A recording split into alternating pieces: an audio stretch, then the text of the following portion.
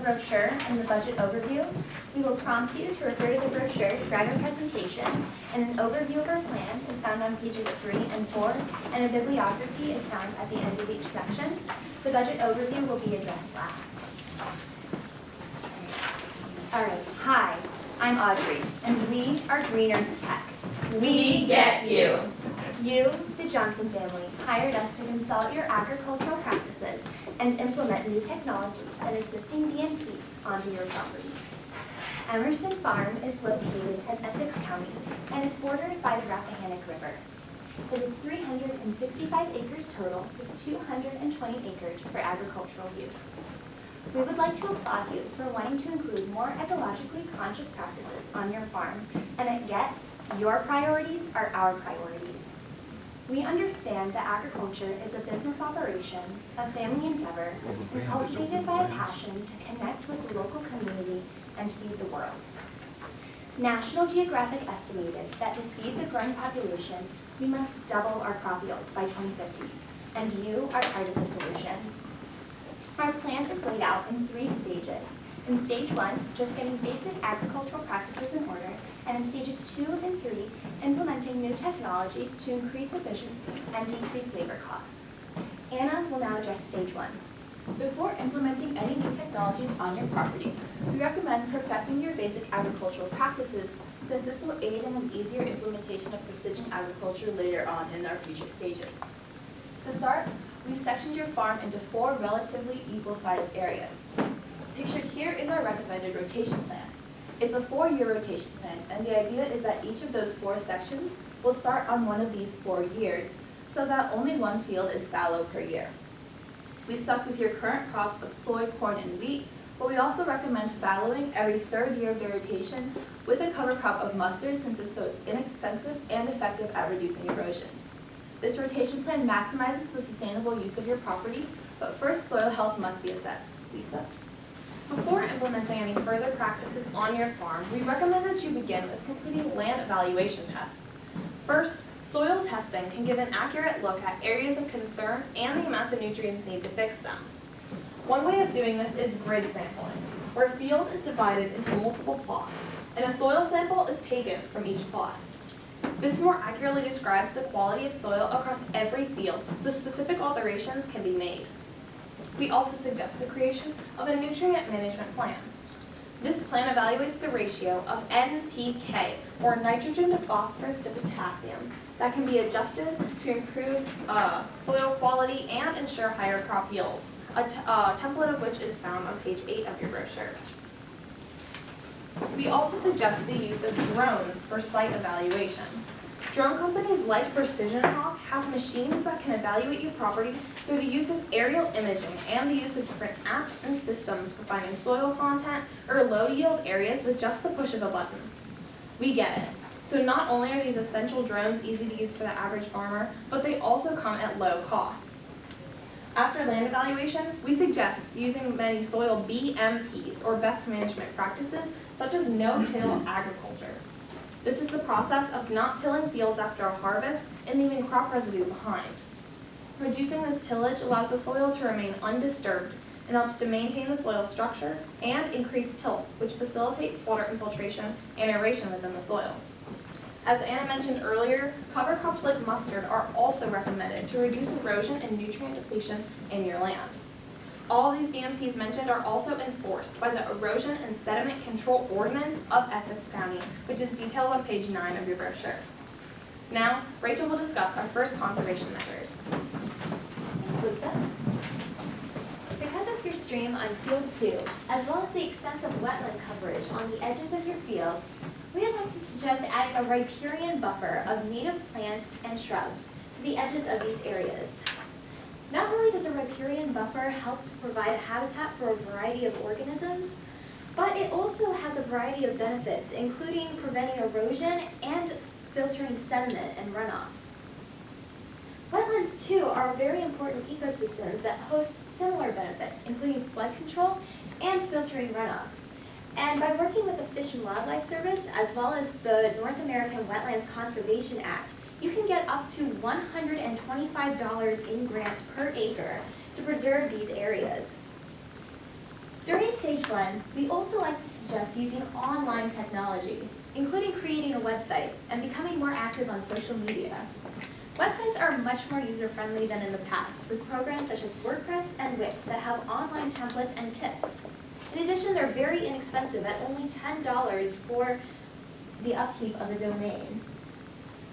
Social media too is a free and easy way to get the word out about your property, with programs like the NRCS Fridays on a Farm that help you to connect with other farmers and advertise the quality of your products. We'd also like to suggest using blockchain software. Blockchaining is a digital way to track transactions, meaning a customer can scan a product on their phone and be able to track it back to the retailer, distributor, and even back to the farmer, meaning they'll be led directly to your website. Blockchaining is also a great way to streamline your transaction processes to one online location and to attract new businesses and investors, and as well as connect with other farmers and create long-distance co-ops as well as long-distance business applications. As we move into stage two, Joseph will talk about ways to improve your yield. This is the beginning of stage two. Please follow along on page 11 of your brochure.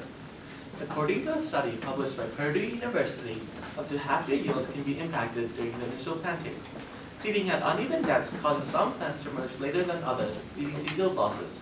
The precision planting delta force helps fix this problem by applying a downward force during the initial planting so that all seeds are planted at the same depth and will emerge at the same time. In addition, there is a specific window of time for planting for maximum yields. The precision planting speed tube allows for double the traditional seeding speed so that this window can be achieved more easily even with unexpected weather conditions slowing you down. Finally, the precision planting conceal can be used to apply strips of fertilizer within the soil so that it does not run off the farm, but it is accessible to the plants during the most important stages of the plant's growth when the maximum yields are being determined. Now, the cost of these technologies may not outweigh the benefits for implementing it on your farm alone. This is why we recommend starting or joining a local equipment sharing cooperative. Through the co-op, costs of buying and maintaining technology are shared among multiple farmers so that there is less financial burden on your farm while you still enjoy all the benefits. Now, Rachel will explain how water conservation can be achieved through technology. Water is expensive, and proper water and irrigation techniques can have a significant impact on your profits over time. We get that. Therefore, we suggest installing a ram pump as a way to mitigate these costs. A ram pump uses no electricity and has no cumulative cost to run. Instead, it uses the downward motion of water in order to redirect that force upwards. And using a ram pump, we'll be able to water virtually any area on the four areas that we listed earlier. We'd also like to talk about the poli um, political aspects of your farm. We want to make sure that your farm is thriving not only sustainably and economically, and also politically.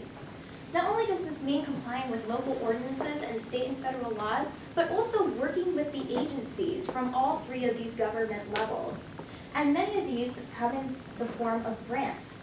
Stage two is a great time to reassess which grants you may be eligible for. For a full list of our political endeavors, please see page four of your brochure. Audrey? Thanks, Rachel. Improving habitats on your property can be extremely beneficial, and your farm has so much to offer in terms of nature. By improving habitats, you benefit the agro-ecosystem, which is how your agricultural practices interact with the local environment.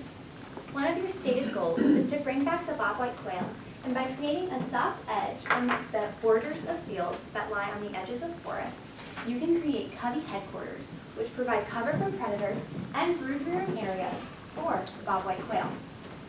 In these same places, we also recommend planting sunflowers. The sunflowers will attract other songbirds and mourning doves. And technical assistance for these habitat improvements can come from the Virginia Quail Recovery Initiative, which is sponsored by the Virginia Department of Game and Inland Fisheries. For a full overview of wildlife management in stage two, refer to pages 12 and 13. All of these wildlife are used in our Integrated Pest Management System, or IPM, which is a way to use a multifaceted approach to control pests more efficiently and through more natural, um, more natural processes. Biological controls, like the, bob, like the birds and the bobwhite quail, will eat insects, and the bobwhite quail's pecking behavior will perforate the soil, which will increase aeration. Cultural controls, like crop rotation and using mustard as a cover crop, will reduce um, weed problems on your farm as mustard is a natural biofumigant. Pollination is imperative on any agricultural operation, and by creating a wildflower garden to beautify the area that is a cemetery, you can not only plant beautiful native wildflowers, but you can also attract and benefit pollinators like the rusty patched bumblebee and the monarch butterfly. A study published in American Entomology estimated that the value of agricultural pollination is worth 143 times more than any of the wax or honey that the European honeybee produces. It is well worth the investment to improve habitats on your property. Joseph?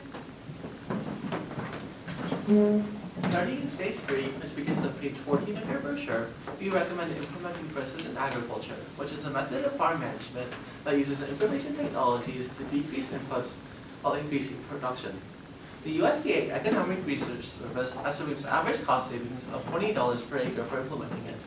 In precision agriculture, your farm is divided into smaller management zones of similar productivity, the historic yield data, or the soil testing that Lisa mentioned earlier.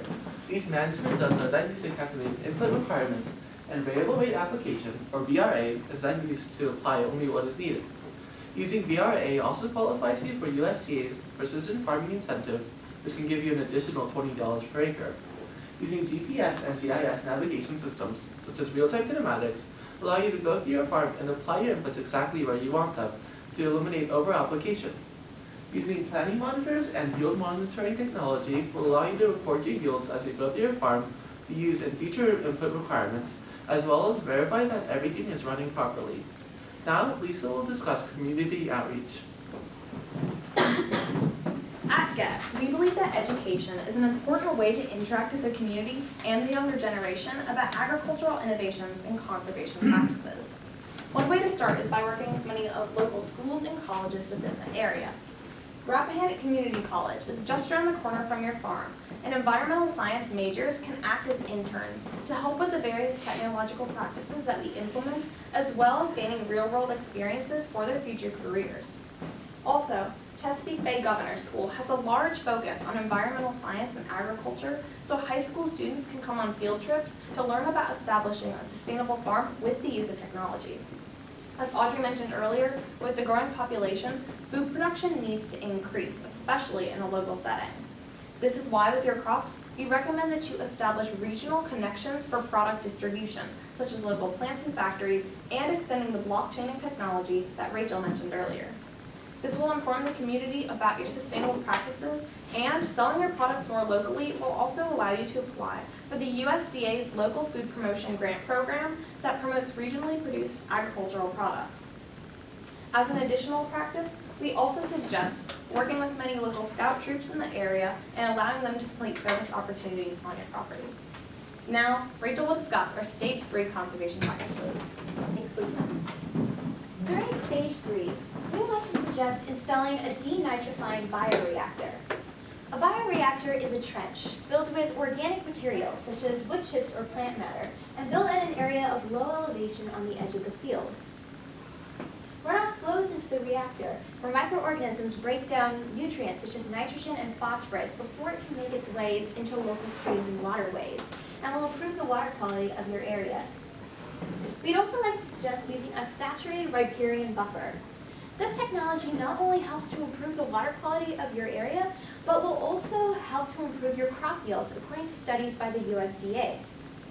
This technology includes underground piping along the edges of a field and an outlet that can be raised or lowered.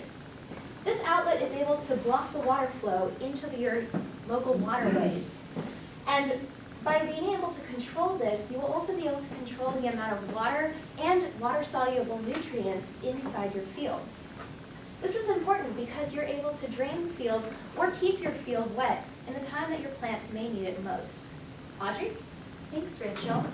As the improved habitats enter the maintenance stage, we suggest opening these up to the public and creating wildlife viewing areas. For an overview of how this would work on your property, refer to pages 16 and 17 of your brochure. Visitors can expect to birdwatch and see bobwhite quail and other songbirds, and while exploring the beautiful flora in the wildflower garden, they're likely to see charismatic pollinators like bumblebees and butterflies. Um, a, a study from the University of Regina in Canada concluded that connecting a community with the local ecosystem not only improved local health and well-being, but also created an enthusiasm for conservation. As we mentioned earlier, pollination is imperative on any agricultural operation, and to increase pollination in the coming decade, we also recommend adding apiaries. While beekeeping requires a lot of labor, an alternative is to rent land to local beekeepers so you don't have to increase your labor, but you can still reap the benefits of the European honeybee. You might be overwhelmed by the um, conservation practices and new technologies that we suggest implementing on your farm, but I get a, per, a priority of ours is to have a balanced budget, which Anna will now discuss. We understand that all of the technologies and practices we're recommending might not be economically feasible for the average farmer on their own. Therefore, we recommend the co-op that Joseph mentioned earlier, as well as applying for multiple grants, some of which my colleagues have mentioned throughout their presentations. A full list of these grants can be found on the first page of the separate budget overview. Overall, most of your costs will be mitigated by the grants and the co-op, and a budget breakdown can also be found on page two of that same budget overview. These are the three main grant programs we recommend applying for.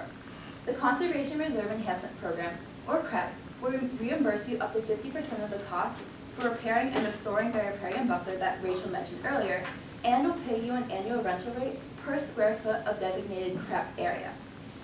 The Environmental Quality Incentives Program, or EQIP, will give you the financial and technical assistance needed for the practices that we're recommending for your farm. Finally, the Sustainable Agriculture Research and Education Grants will give you the funding needed for the community outreach, education, and research initiatives that Lisa mentioned earlier. One of your main goals was to decrease your labor inputs with the increased use of technology. We conducted a labor analysis of your current farm and found that right now, your labor inputs are equivalent to about $70,000.